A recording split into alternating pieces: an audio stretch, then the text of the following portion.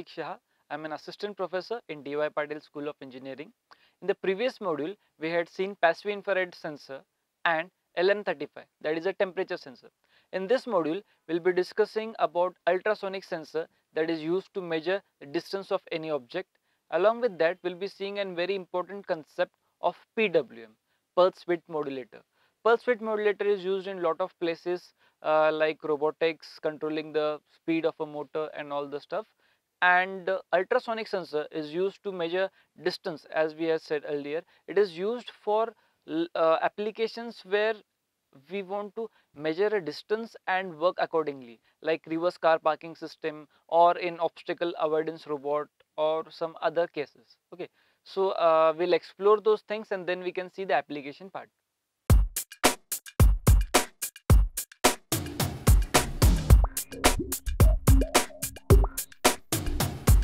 let's start with ultrasonic sensor. In ultrasonic sensor uh, okay first let us see what is an ultrasonic sensor. Ultrasonic sensor is used to measure distances. Now how does it work? It works on the principle of sonar or the principle that is used by bats and dolphins to measure the distance. Now it has got two things. One is transmitter another one is receiver.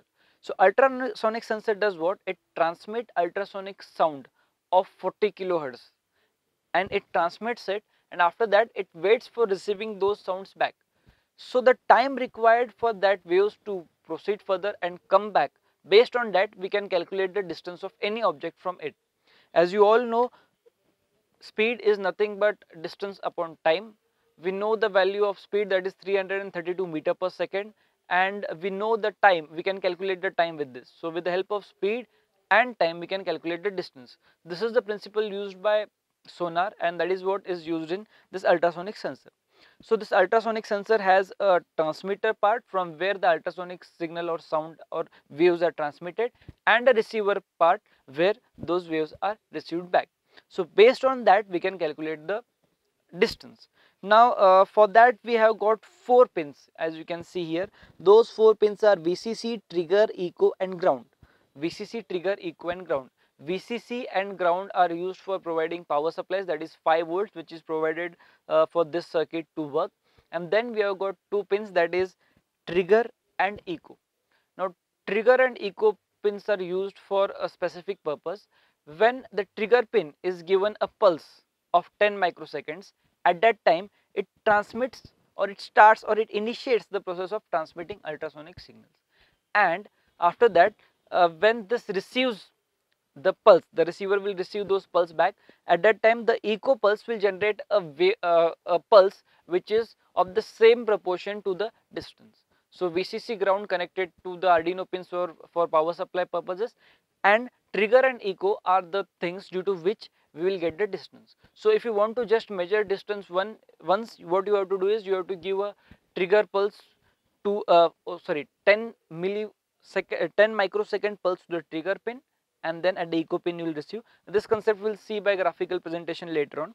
But uh, what I want to focus is that we have four pins and the importance of them. So this is it. Now if you take a look at the back side, you can see there is a lot of complex circuitry around here. We have got three ICs, then capacitors and all these stuff. But uh, we need not take a, think about them at all because we just have to think of these four pins and the functionary that is required here. Okay. So now we'll see the specification of it and then with the timing diagram we'll see how it works. Now uh, yes here you can see these are the parameters and the operating ranges of ultrasonic sensor. The first parameter is working voltage. It requires the 5 volts for working. The current that is required is 50 milliamperes. We need not uh, think about that much. The working frequency is 40 kilohertz. That means the ultrasonic sound that is transmitted uh, from this sensor is of 40 kilohertz. Then the maximum range and minimum range they have told us. The minimum range is 2 centimeters. That is from 2 centimeters to maximum range of 400 centimeters. From 2 centimeters to 400 centimeters, you can measure the distance. So any object that is at a distance of 400 centimeters, we can measure its distance accurately. Now the measuring angle is 15 degrees and the last part is the dimension of it. So from this we can understand that anything that is from 2 centimeters to 400 centimeters that is 4 meters we can measure from this sensor. Now uh, Okay, now let us see how actually it works in the this slide uh, will be having a timing diagram. Before that, as you can see transmitter will transmit the waves and receiver will receive the waves and the distance should be at an angle or this object should be at an angle of 15 degrees. Then only the this thing is accurate. Now as you can see we have to provide a pulse of 10 microsecond to the trigger pin. When we provide a 10 microsecond pulse to trigger pin the transmitter will start transmitting the waves. The transmitter will send 8 bursts or 8 waves of ultrasonic signal. And after transmitting the last or the 8th wave our echo pin will be high and it will be high till we receive the wave back. Now uh, with this timing diagram the concept will be more clear. Okay. So when the trigger pin is given a 10 microsecond pulse at that time the transmitter starts sending 8 ultrasonic bursts and when the last burst is transmitted our echo will return and uh, echo will be high and it will be high unless and until we do not receive the signal back. Now as we have discussed earlier the range is 400 centimeters till 400 centimeters it will measure so it will wait till measuring 400 centimeters only after that it won't measure and it will echo pulse will get low automatically. So the maximum distance or maximum time for which the echo pulse will be high is for 38 milliseconds. So till 38 milliseconds you will get the high pulse. If you get 38 milliseconds as an high that means there is no object in the range of 400 centimeters and it is a false reading.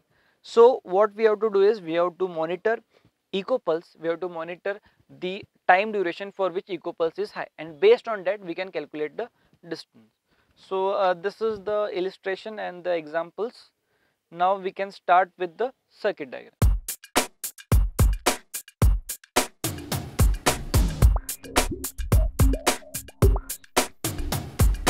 This is how the circuit will look like. Now here we just have got four connections. VCC and ground are connected to the terminals of Arduino and the sensor simultaneously. Then 12 number pin from Arduino is connected to trigger pin of your ultrasonic sensor and 11 number pin is connected to echo pin. So the circuit is quite simple VCC ground trigger and echo are connected to pin number 12 and 11 of Arduino respectively. So now we'll build the circuit and after that we will talk about the programming aspects of it.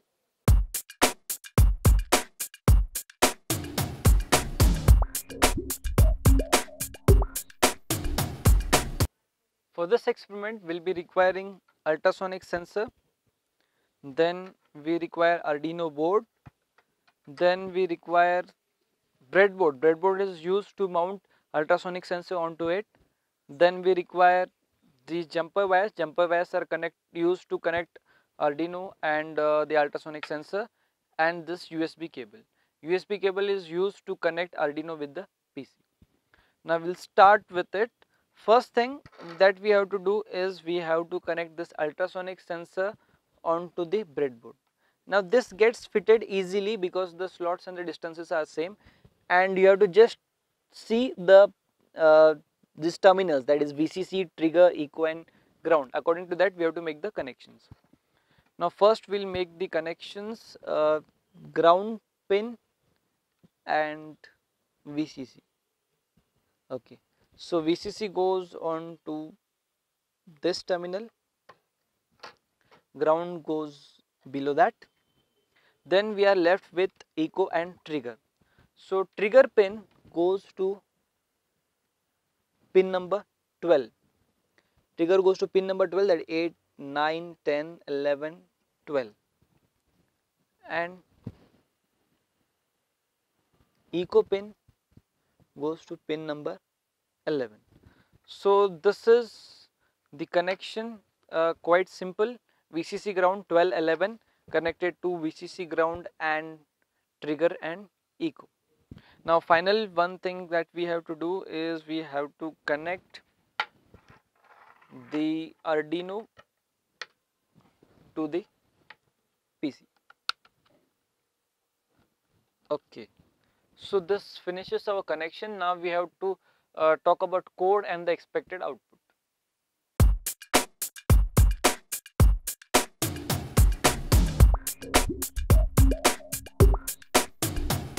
Okay, now let's talk about the code and the expected output.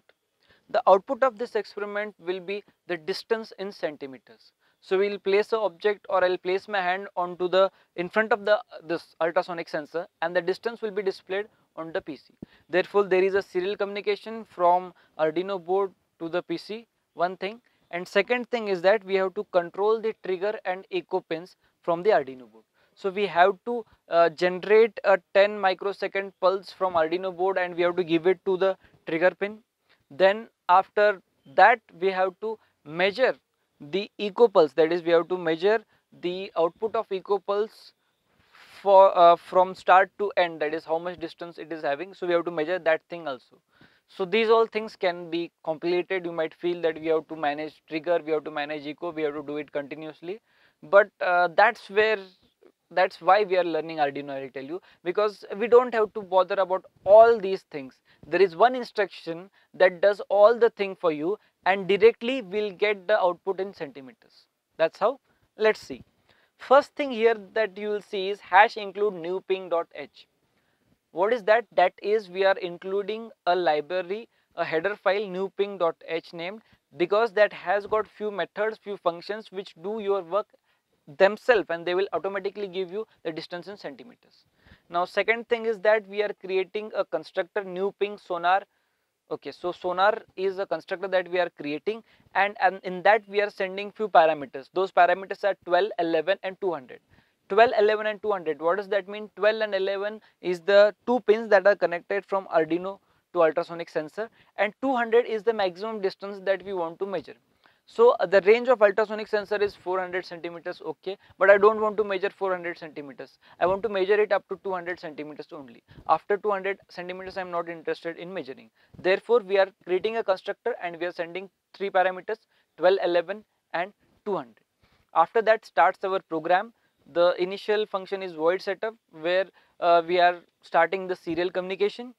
Then and in that also you can notice one thing serial dot begin instead of 9600 the baud rate is high that is 115200 that is because I am sending the data at the speed of 200 milliseconds which is fast therefore uh, I have increased the baud rate. Now inside void loop you can see there are three instructions only. First instruction is delay then second instruction is uh, I am using a method sonar dot ping underscore cm. Now this is possible because of the header file that we have used and the constructor that we have created. So sonar.ping underscore cm is the instruction that does the task of providing a trigger pulse and measuring the output of echo pulse and converting that into centimeters and giving you the value. So sonar.ping.cm one function that will give you the output in centimeters and you can store it in a variable. So int a is equals to sonar.ping underscore cm. a is a variable, it is an integer. So in that the value will be stored. After that you want to print that value we are using serial.print ln into bracket a. So the code is quite simple only 10 lines or less than 12 lines 10 lines maybe just because of using NewPing header file and the constructor constructors the programming and the all this stuff is getting easier. So Arduino is powerful because it has got lot of header files and uh, directories and functions due to which the programming is simple. We get all the things ready made and that is quite simpler and we did not uh, all the times uh, manage the trigger pin, the echo pin and we have to do the calculation, nothing is required in here. Now let's uh, write this code onto Arduino IDE, dump it and see how the result is.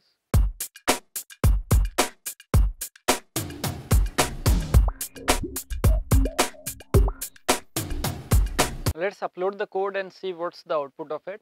Uh, first thing we'll compile the code, the same code is written over here.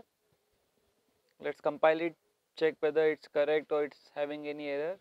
Yes, there are some errors. Now these errors are because of this hash include NewPing.h. Why? Because we are including a header file and that is not available in this thing. So we have to add that header file. So we have to click on sketch and then include library. So now uh, for this we have to download a NewPing.h library. If you Google it, you will get that thing. So we'll get a zip file of that. We have to add that zip file. So after pressing it, it will ask for the location. I have stored it onto the desktop. Here it is, NewPing version 1.7. We have to add it. So when you open this thing, this header file gets added onto the Arduino board. So now we can easily compile it and it will not generate any error because uh, the header file is added.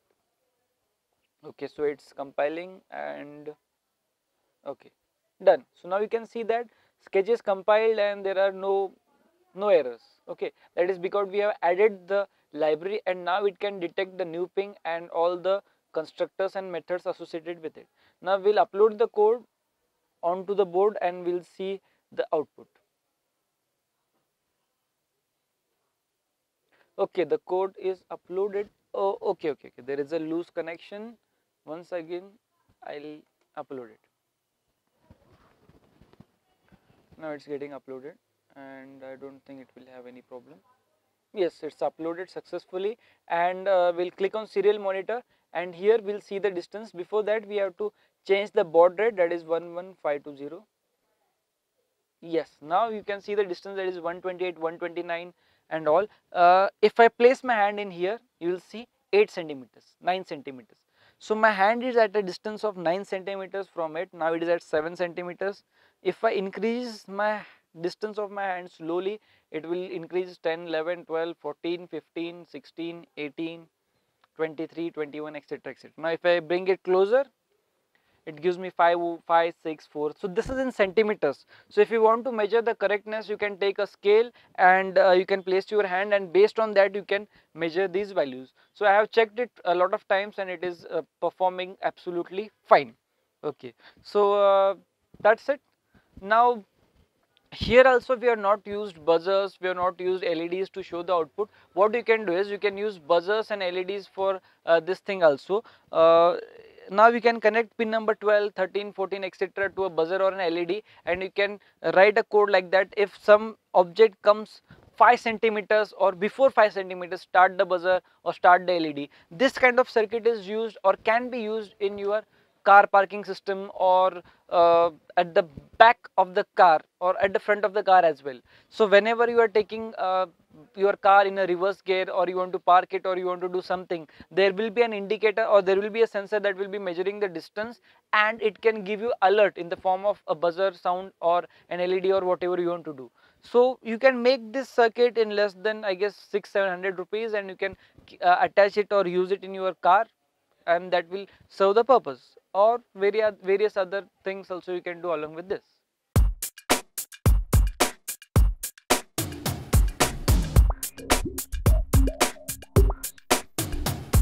After that very interesting experiment with ultrasonic sensor, now we'll start with an important concept that is PWM, pulse width modulator. Now PWM is very important and used for controlling the speed of motors. Now uh, we'll talk about DC motors. We are not experimented with it. In the next modules, we'll be experimenting with it. But uh, I'll give you a brief idea about it. DC motor has got two pins. If you provide 5 volts and ground to it, it will start rotating clockwise. If you provide ground and plus 5 volts in the opposite polarity, it will rotate anti-clockwise. So in short, you provide supply, it will rotate. Now DC motors come with various specifications such as voltage rating and along with that they come with RPM that is rotations per minute. So if you take a DC motor and it has got 100 RPM that means in 1 second it will rotate 100 times if you provide the sufficient voltage for it. So suppose I buy a 5 volts 100 RPM motor and if I provide 5 volts to it, it will rotate 100 times in a second. Suppose I want to control the speed of the motor, then how can I do it? Suppose I want to rotate it for just 50 times in a second. So how can I do it? If I apply 2.5 volts, that is half the capacity of it, will it do? No, the answer is no, it cannot do that because it is working only at 5 volts and will rotate for 100 times only. So in this kind of situations, the use of PWM is must and that is the only solution that we have. So as we know that we have got two types of single signals, one is digital, one is analog. Digital means what? 5 volts, 0 volts, done. Analog means what? From 0 volts to 5 volts, you can generate various in steps like 0.1 volt, 0.2 volt, etc. etc. So for the motor case, we cannot use analog port and give 2.5 volts to it and expect that motor will rotate. We cannot do that. So we need to provide 5 volts to it and we want it to rotate at 50 rpm. So for doing that, we use the concept of PWM. PWM is a technique for getting analog result with digital means. So what we'll do is we'll connect our digital pins to the motor but we'll do a trick. What we'll do is suppose I'm using the motor for 10 seconds. So in that 10 seconds first second I will give 5 volts in the second second I'll keep it low then after that I'll give it on for one second then low. So what I'm doing is I'm generating a square wave of 50% duty cycle. That is for half the time it is on half the time it is low. On off on off on off. So the motor will be on then it will be off on and off. But the speed of switching of the volt voltage is very high and motor cannot cope up with that. So actually what happens the speed of motor is reduced to 50 rpm it won't stop because we are switching the digital signals at a very high speed okay? So for 10 microseconds i'll give 5 volts output. For next 10 microseconds it will be off. For the subsequent 10 microsecond it will be on off on off on off. So in microseconds i'm switching on and off the digital pins and that is given to the motor and motor cannot switch so quickly. So it, when you give 0 volts motor will not be off it will be rotating only but the speed is reduced. So after some time you will get a fixed RPM of 50. Now we'll explore this was an application and the uh, example of PWM. Now we'll see the theoretical definitions and what are the waveforms related to it.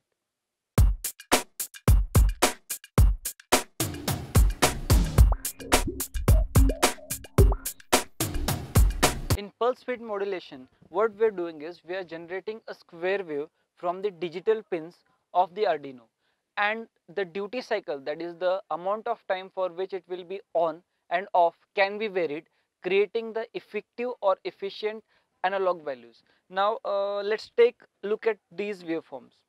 Now the first waveform is of 0% duty cycle that means we are not switching on the digital pin at all. So we are not getting any voltage. So it is equivalent to 0 volts. Then second one is 25% duty cycle. That means if you are switching uh, the digital pin for 1 microsecond then it will be off for the next 3 microseconds. So it will be on for just one fourth that is 25% of the times that means it is having a duty cycle of 25%. Now the next or the third wave is of 50% duty cycle in which the on time is 50% and the off time is 50%. So effectively you are giving 50% of the voltage that is if you are having 5 volts as the maximum voltage you are giving 2.5 volts. Then the fourth one is of 75% duty cycle. For that uh, we have got 3 4 times the digital pin is on and the last one is 100% duty cycle. So these are the few things you can have 10%, 30% etc according to your requirement and the speed that you require. Now the question that would come is how can I generate this kind of thing from my Arduino? Do I have to use the delay function? That means I have to write digital write 12 high and then I have to write a delay of some milliseconds then I have to switch it low then I have to write a delay of few seconds and that is to be continuously done.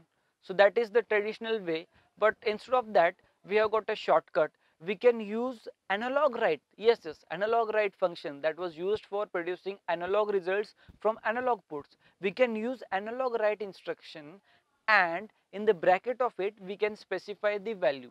Now uh, we have got a PWM inbuilt in Arduino port and uh, it is available if you take a look at the digital pins it is available at pin number 3 5 6 9 10 and 11 uh, if you take a closer look you will see that there are dash or a curly sine wave kind of thing that is available after pin number 3 5 6 9 10 and 11 this signifies that these pins can be used as pwm pins. That means with the help of these pins we can generate pwm signal. And to generate that signal we need not use delays and all. We can use our analog write instructions. So if i write analog write and then I can write uh, suppose 9 analog write 9 comma 127 that means I am taking or uh, producing an PWM from analog port uh, sorry digital port pin number 9 and 127 specifies 50% duty cycle. Now how does 127 specify 50% duty cycle? That is because we have got an 8 bit PWM. 8 bit PWM means what? 2 raised to power 8 that is 256. So we have got 256 values. So if you write uh, analog write 127 that means 50% of it. If you write analog write 64 that means 25%. Analog write 191 that is 75%. So accordingly 100% is broken into 255 various parts. So now uh, we can take a look at the programming and we can uh, think about what all things can be done. So before that uh, we'll explain about how to build a circuit and what is the expected output.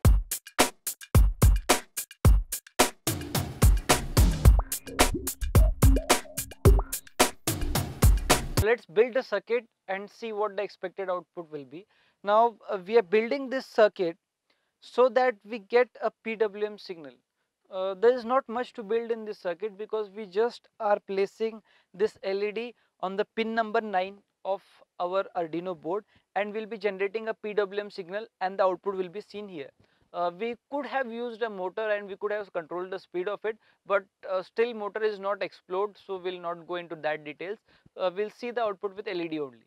So first we'll connect anode of this LED to pin number 9 and cathode is connected to ground. So I'll use the shortcut instead of using a breadboard I'll directly connect it. So this is 8 and this is 9 then 10 11 12 13 and ground. Yes so this is it.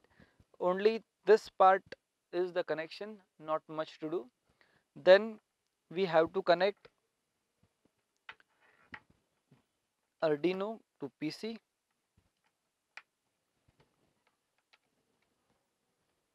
yes so this is how we can connect it. Now let's talk about the output and the expected things. Uh, I have written a code which will do what? It will vary the duty cycle of PWM in short, I am generating a PWM signal from pin number 9. Instead of generating a 50% duty cycle or 75% duty cycle, if I keep a fixed duty cycle, there won't be much change in the LED. LED will glow only and you won't be able to see the variation in the intensity also. Therefore, I have written program in which the intensity of uh, the PWM is changed. That means the duty cycle of PWM is changed so that from 2% duty cycle to 100% duty cycle we are going. So first it will be uh, on for 2% duty cycle then 4 then 6 8 similarly. So we'll be having the things. So it will be increasing in duty cycle so the intensity is increasing. Later on we are reversing the cycle so intensity is coming down down down down down and then once again up so this is done so that you can see the output actually on the LED. Now for this I am using analog write signal as discussed earlier analog write 9 comma the 8 bit PWM value that you can use so that you can create a duty cycle. Now we are using 8 bit PWM therefore the possible levels are 256 that is 0 to 255. So if we start with 0 that is 0% duty cycle and 255 is 100% duty cycle 127 is 50% duty cycle. So we are using a step of 5. So first analog write 9 comma 5, analog write 9 comma 10, analog write 9 comma 15. In this way with the step of 5 from 0 to 255 we are going. So intensity will be increasing. Then from 255 once again we are coming to 0 and then going up and down. So this is what we are doing and in between changing of PWM duty cycle the delay of 30 second is given. Now we'll explore the code and uh, we'll implement it on the IDE.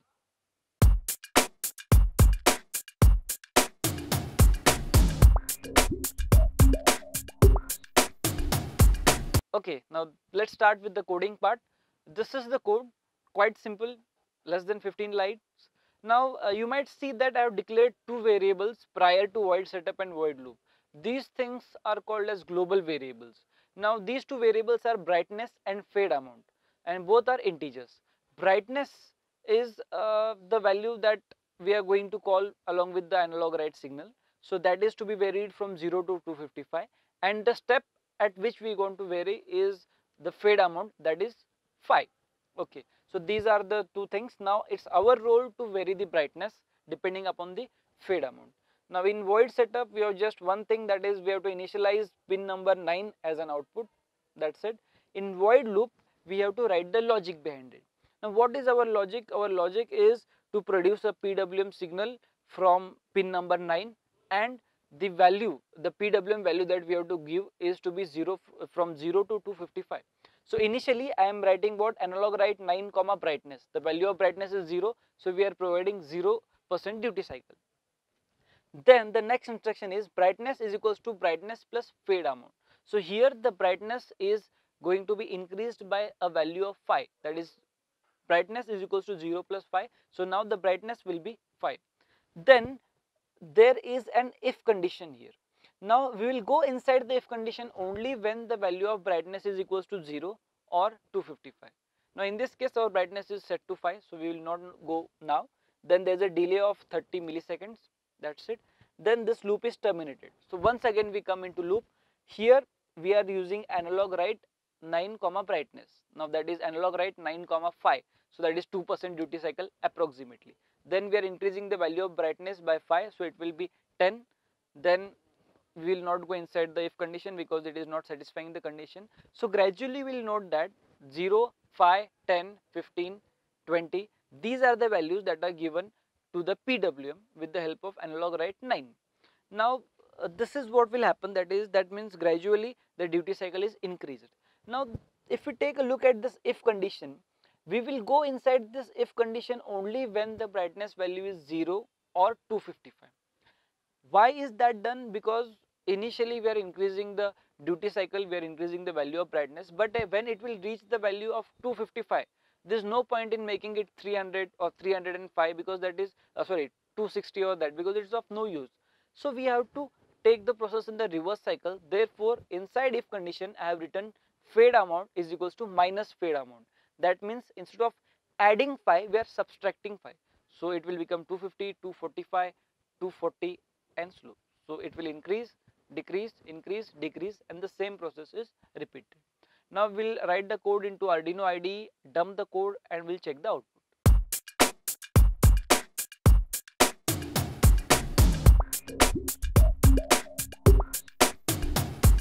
I have written the code already into the Arduino IDE. Now we'll compile it, check whether it's correct and we'll upload it and see the functionality. Okay, so I'm compiling the code and I don't think there should be any errors okay it's taking time for compilation. It's compiling it.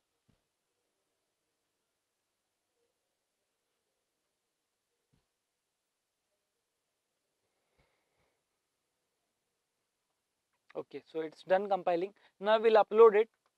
Uh, click the upload button. Now we are uploading the code onto the arduino board. Okay so it's done uploading. Now we can see the output. Okay so the intensity has decreased once again it's increasing. So you can see that a uh, lot of variation in intensity cannot be observed i feel. But switching on and off you can see. So what is happening is duty cycle is increasing therefore the it is getting brighter and then it's going down and once again increasing. Hope you like the video. If you have any queries or doubts you can find us on facebook by the name Millionlights or even on twitter for more details and interesting courses, you can visit our website www.millionlights.org. Thank you.